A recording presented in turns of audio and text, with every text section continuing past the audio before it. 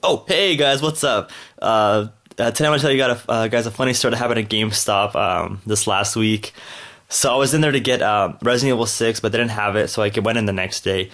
But I bought um, like a Modern Warfare 2 because I wanted to play that for PS3. Um, so I, am done, and I go to uh, go to leave the store. I bought the game already, and then um, I had to go back because there's no manual, and I just wanted the manual with the game. So I um, the girl was helping these other two guys, uh, two white guys. One was a taller one. I think they're like they're like in high school, and um, they were talking about something, and then they know they're talking about how they, they all they all, all of them look young, and like I don't know how the subject of prom came up, but like, and then uh, the guy was the guy seriously asked the girl, he's like, "Will you go to prom with me?" And I was standing in the whole time. I was like, "What?" That just did not just happen. It was so crazy funny.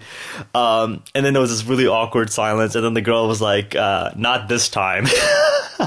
it was so bad, guys. And then I was standing there the whole time waiting for me to waiting for um to ask the girl if I can get the manual for the Modern Warfare 2 game just bought. And then uh, the guy's hella embarrassed. He was like all red looking around. And then like he looked in my direction, but I looked the other way like this, like I wasn't really paying attention. Um, it was funny though, but then I asked the girl if, if, I can get the manual, so I got the manual for the Warfare 2 and I just left for the day. I love the story, it was just so funny. I just had to make a YouTube video about it, guys. Um, yeah, that was my GameStop story about how this guy asked a girl to prom, and he, he was asking the the girl was a GameStop employee, so he was asking her to prom. It was so funny, guys. Um, anyways, guys, I'll see you guys in my next video. Uh, have a good day. Have a good week. Um, yeah, I don't. I think this is the last week of February, so yeah. I mean, March is coming up, which is spring is coming up, which is pretty cool. So see you guys later.